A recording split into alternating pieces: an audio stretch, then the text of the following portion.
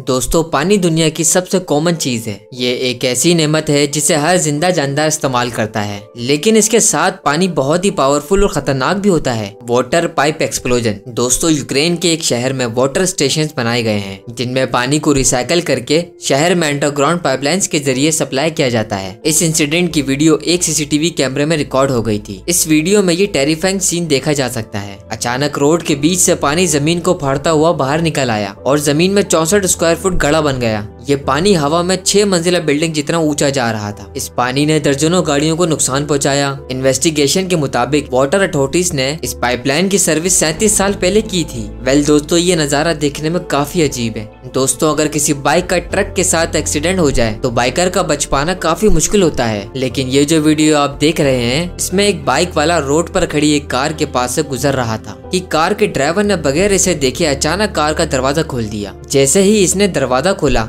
Biker इस दरवाजे से टकरा कर रोड पर गिरा और वहाँ से गुजरते हुए ट्रक के नीचे आ गया। जैसा कि आप इस वीडियो में देख सकते हैं कि बाइकर ट्रक के नीचे आकर क्रश हो चुका था। पहली बार में तो इसे देखकर ऐसा लग रहा था जैसे ये बंदा बुरी तरह जख्मी हो गया हो या शायद ज़िंदा ही नहीं बचा होगा। लेकिन आप बिलीव नहीं करेंगे कि जैसे ही इस ड्राइवर ने ट्रक को रोका तो थोड़ी ही देर बाद ये बाइकर ट्रक के नीचे से सही सलामत बाहर आ गया। असल में इसकी किस्मत अच्छी थी कि ये ट्रक के टायर के नीचे नहीं आया था, बल्कि इसके टायर के पास से होता हुआ मिडिल में चला गया था, जिसकी वजह से इसकी जान बच गई थी। वैसे दोस्तों, ये किसी मेरिकल से कम नहीं था।